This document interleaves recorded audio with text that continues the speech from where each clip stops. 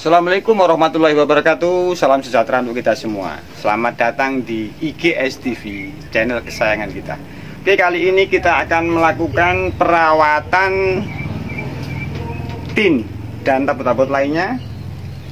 Cuman kali-kali ini Untuk mengantisipasi Karena karena kita melakukan tabu lampot Untuk menjaga Keasaman pH tanah Plus untuk memaksimalkan nutrisi yang yang, yang kita berikan berupa POC ataupun kompos supaya bisa terserap maksimal tanaman tanaman taman tabu lambut kita kita biasanya menggunakan ini.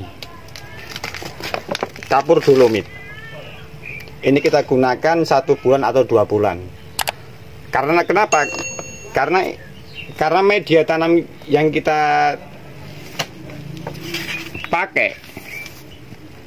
Dan terus menerus kita siram terus menerus kita kasih POC atau kompos. Itu rawan pH nya menurun. Apalagi di musim-musim hujan. Karena itu antisipasi kami biasanya kami menggunakan kapur dolomit ini satu bulan atau dua bulan. Dengan durasi satu bulan atau dua bulan. Per pot biasanya kami menggunakan dua genggam seperti ini sahabat-sahabat. Satu genggam atau dua genggam cukup. Seperti ini.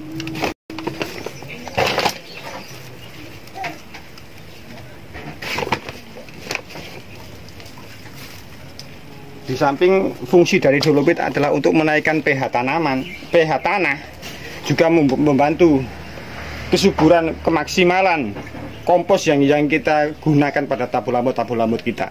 Seperti ini sahabat-sahabat. Daunnya hijau subur dan buahnya banyak sekali. Dan sangat produktif.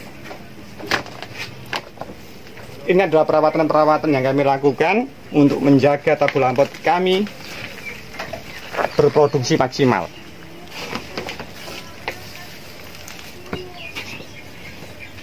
Tin ini kelengkeng merah. Ini buah tin yang baru dipindah. Tetap kita kasih. Oke. Semua kita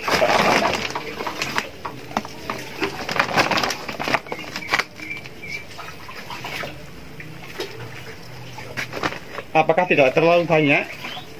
Menurut pengalaman yang telah kami lakukan tidak dan karena manfaat dari dolomit ini sangat bagus sekali untuk tabu lamu buat kami.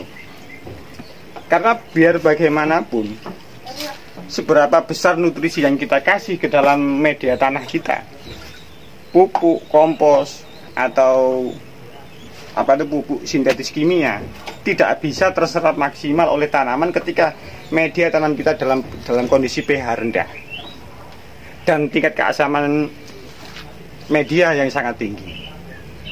Ini adalah salah satu cara kami untuk merawat tabulan-tabulan kami meskipun dalam di, di dalam kebun yang sempit.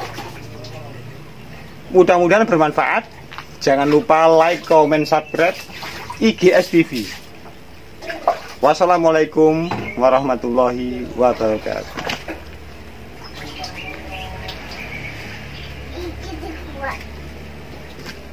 cô lạnh